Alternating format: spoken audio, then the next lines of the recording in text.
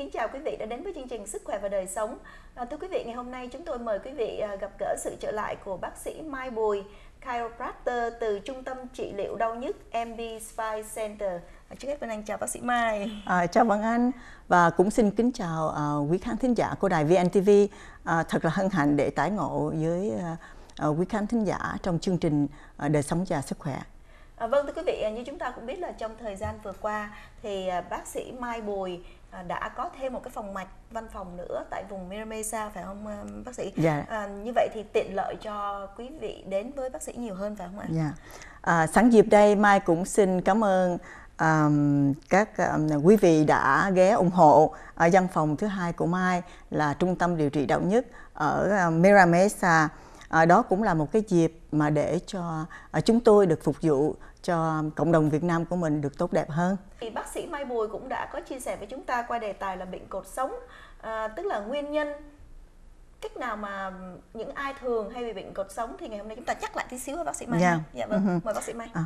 À, để nói về cái bệnh cột sống thì chúng ta cũng nên biết là cái cơ thể của chúng ta à, để được à, sinh hoạt bình thường thì cột sống chúng ta phải theo đúng vị trí à, giống như à, cái talk show vừa rồi à, Mai và Vân Anh có nói về vấn đề đó thì hôm nay cũng như nhắc lại à, cho à, quý vị được uh, nắm rõ hơn giống như cột sống của chúng ta thì có bao nhiêu lóng và lóng cổ bao nhiêu uh, đốt uh, lưng ngực thì uh, hôm nay um, chúng tôi sẽ nói về vấn đề um, uh, kiến thức tổng quát uh, cho yeah. Dạ. các uh, quý vị giống như tôi cũng vừa mới nói xong thì ở cổ chúng ta có tất cả là 8 lóng yeah. Dạ. còn lóng ngực thì mình có tất cả 12 lóng và cộng với 5 lóng uh, đốt sau lưng thì chạy dài từng uh, ót ngay cái cổ đi xuống cái thắt uh, thắt lưng của mình uh, khi mà chúng ta muốn biết là mình đang đau cột sống hay không nhất là cột sống cổ hoặc cột cột sống lưng thì uh, chúng ta sẽ cảm thấy đau nhất đầu tiên vâng anh yeah. Dạ. rồi sau đó chúng ta sẽ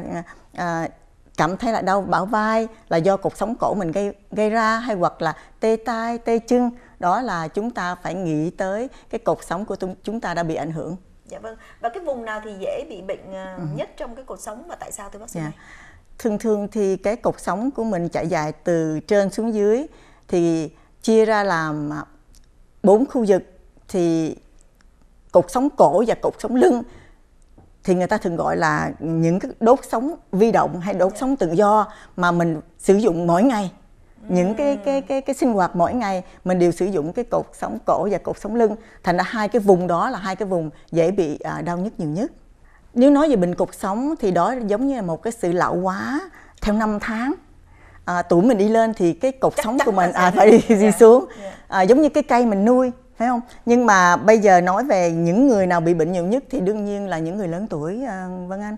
Giống như là trên 50 tuổi 60 tuổi thật ra ai cũng đều có à, hoặc à, bị bệnh à, đau cuộc sống hết. Nhưng mà có người thì nặng hơn có người thì nhẹ hơn hay hoặc là đến chậm và đến sớm thôi. Giống như là những người mà lao động quá sức khi còn trẻ à, à, chế độ dinh dưỡng không đủ hoặc là tư thế ở nhà mình lặp đi lặp lại mỗi ngày à, thường xuyên thì bị ảnh hưởng đến cuộc sống của mình. Dạ vâng. À, và nhiều khi những cái tai nạn cũng cũng làm ảnh hưởng cuộc sống phải không? À, đúng rồi Vân Anh. Thường thường những cái tai nạn à, đụng dù nhẹ hay nặng thì um, dễ bị tổn thương cho cuộc sống, à, bị trật những cái khớp. Mà khi mình trật những cái khớp thì nó sẽ đè lên những sợi dây thần kinh. Mà những sợi dây thần kinh đó thì nó liên quan đến những cái cơ bắp của mình, thành ra gây ra sự đau nhức. Dạ vâng.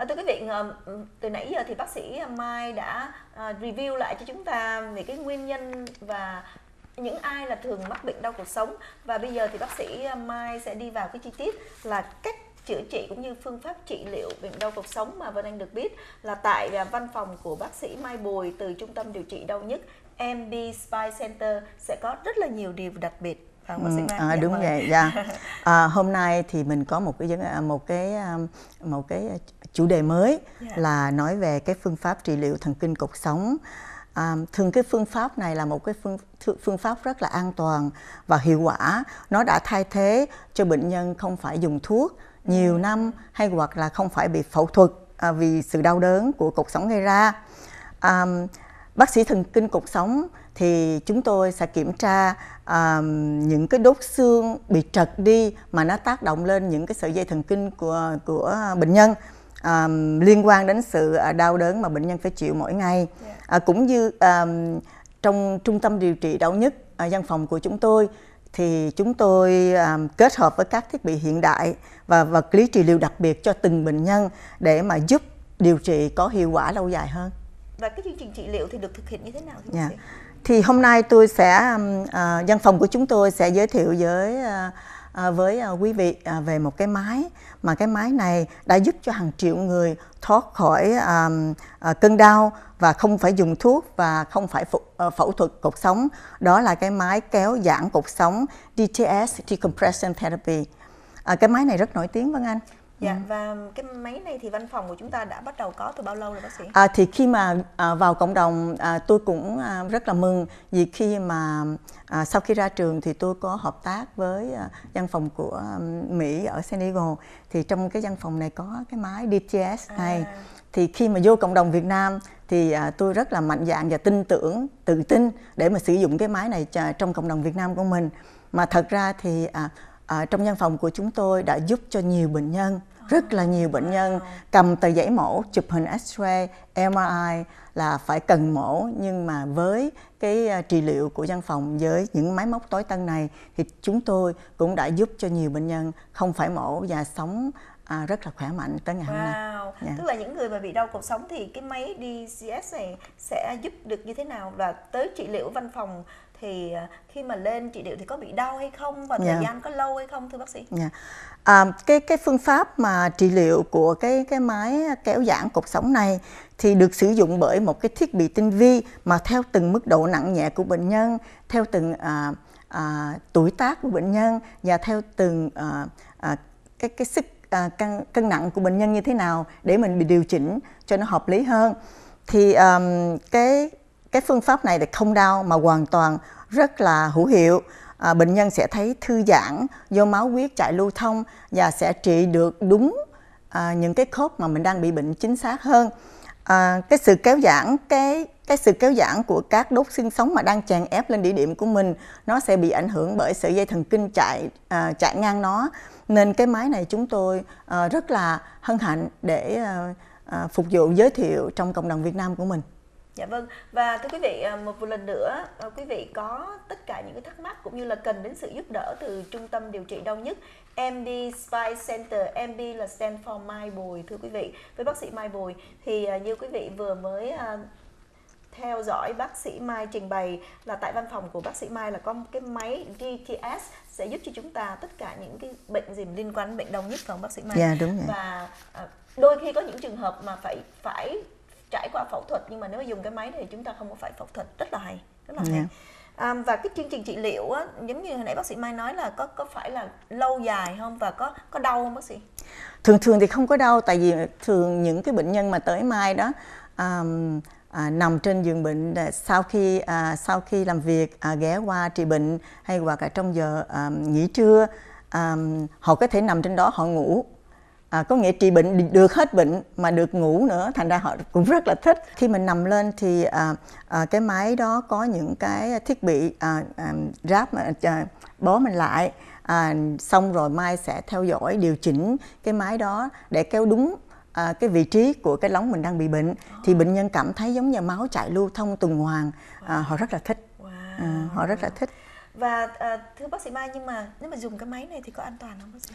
À, rất là an toàn tại vì à, theo Mai biết á, hiện giờ Mai cũng có những bệnh nhân à, cái người bệnh mà cao tuổi nhất thì bác đó là khoảng 94 tuổi. Wow. Mà mỗi tuần bác tới bác còn đòi kéo cho bác à, mạnh hơn mỗi lần tới nhưng mà thật ra thì mình cũng không có chiều theo bệnh nhân mà mình phải biết được là mình phải như thế nào để cho đúng à, để trị bệnh cho bác thì bác rất là thích bác rất là thích mỗi lần tới là bác cứ đòi lên máy đó thôi. Và thưa, thưa bác sĩ Mai bệnh nhân đến với bác sĩ Mai mà dùng cái máy này thì uh, về vấn đề insurance hay là medical có được cover không thưa bác sĩ? Thật ra thì cái máy này cái um, um, uh, có um, và insurance uh, sẽ cover cho mình nhưng mà cái medical cho những người lớn tuổi thì sẽ không. Nhưng mà ở văn phòng của chúng tôi thì chúng tôi rất là uh, tạo mọi điều kiện và tạo mọi điều kiện cho bệnh nhân à, nào à, đúng bệnh giống như là cần cái máy đó thì chúng tôi cũng sẽ à, giúp bệnh nhân. Vâng thưa quý vị, những cái người bệnh nhân đến với bác sĩ và bị bệnh đông nhất và dùng cái phương pháp cái máy DTS này đó thì uh, có cần phải kết hợp với những cái um, phương cách khác không ạ? À? Thực ra là cái đó cái đó là à, Vân Anh biết không có đó cũng rất là quan trọng. À, bắt buộc mình phải kết hợp với những cái phương pháp khác cộng với cái máy DTS là cái máy kéo giãn cột sống của mình. Tại vì máy kéo giãn cột sống này là để trị bệnh những cái đốt sống chèn ép lên sợi dây thần kinh.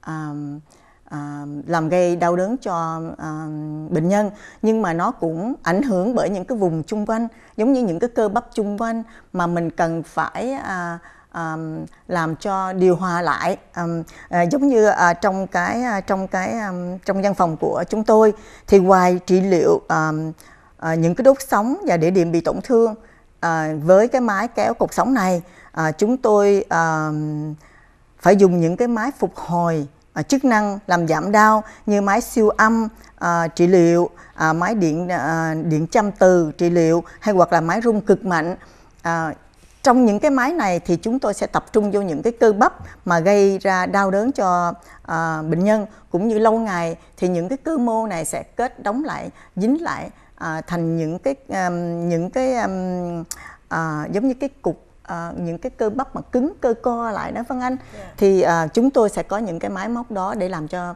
à, những cái cơ bắp bị tổn thương đó à, lưu thông và máu chạy điều hòa và làm mềm đi những cái cơ co cứng đó mà chèn ép lên sợi dây thần kinh của bệnh nhân. Chức năng của chúng là chức năng của những cái máy mà chúng tôi à, sử dụng cùng với cái máy kéo là để cho à, giảm sưng à, máu chạy à, điều hòa à, và thư giãn những cái cơ bắp. Nhưng mà Vân Anh biết không cái này cũng quan trọng không kém là giống như Mai thường nói với bệnh nhân khi mà các cô các chú tới đây Mai chỉ có khoảng 50 hay 60 à, phần trăm giúp các cô các cô các chú hiểu được cái bệnh của mình nhưng mà cái cái 40 phần trăm còn lại là các cô các chú ở nhà à, phải làm như thế nào ừ. phải có những bài tập thể dục của cho các cô các chú và phải check à, phải coi lại những cái tư thế của các các cô các chú ở nhà như thế nào để mà tránh à, hoặc là bảo vệ à, cái bệnh à, của mình Dạ vâng. À, ngoài ra những cái bài tập à, mà à, tập cho bệnh nhân à, về về nhà tập như thế nào thì chúng tôi cũng có những một cái máy này là máy gọi là rung toàn thân tập luyện cho sự à, thăng bằng cho xương khỏe mạnh và cho máu huyết chạy lưu thông. À, mà nhiều bệnh nhân rất thích máy này. À, đó là cái máy rung toàn thân. Cũng như những cái điều chỉnh cột sống sai lệch của bệnh nhân thì bệnh nhân à, bác sĩ thần kinh cột sống là có nhiệm vụ sẽ à, kiểm tra lại những cái à, trật khớp à, từng đốt sống của bệnh nhân để chúng tôi điều chỉnh lại cho à, cho ngay ngắn và à, cho thần kinh à, máu chảy lưu thông trong cái dùng bệnh của quý vị. Cũng như ngoài cái đó ra Vân Anh biết không? Cái chế độ dinh dưỡng cái chế độ ăn uống à, cũng rất là quan trọng. Cũng như à, chúng tôi cũng kiểm tra lại là bệnh nhân à, ở nhà đã uống thuốc à, uống thuốc như thế nào hoặc là ăn uống như thế nào hoặc là sinh sinh hoạt hàng ngày mấy cô như thế nào để mà mình à, động động viên mấy cô là phải à, làm theo đúng thì rất là giúp ích cho mấy cô ở nhà. Mỗi một bệnh nhân tới thì mai cũng hay bỏ nhất là bệnh nhân đầu tiên thường đầu tiên tới thì mai cũng hay bỏ cái thời gian à, chỉ dẫn mấy cô tập như thế nào cho đúng và mấy lần sau tới mấy cô phải trả bài với mai là làm thế nào cho đúng. Tại vì nhiều khi mà mấy cô làm sai thì sẽ không giúp được gì hết, mà còn có hại thêm. Thành ra cái chuyện mà tập thể dục cho từng bệnh nhân một cái đó là ở ở văn phòng của Mai rất là quan tâm. Và thưa quý vị, à, à, chúc cho trung tâm điều trị đau nhức MB Spine Center của bác sĩ Mai Bùi càng ngày càng đón nhận được sự yêu thương của quý đồng hương. À, và thưa quý vị một lần nữa, quý vị có tất cả những thắc mắc và khi cần sự giúp đỡ liên quan đến bệnh đau nhức mời quý vị hãy gọi ngay cho văn phòng của bác sĩ Mai Bùi. À, bác sĩ Mai Bùi rất là kiên nhẫn để mà trả lời tất cả những thắc mắc của quý vị đồng hương phải không bác sĩ? Dạ đúng vậy. Thì sẵn dịp đây Mai cũng xin cảm ơn à, thật là chân thành cảm ơn um, à, quý vị đã ủng hộ um, cho văn phòng của Mai à, một ngày um, um, được tiến bộ hơn và để phục vụ cộng đồng Việt Nam mình tốt đẹp hơn. Mai thành thật cảm ơn.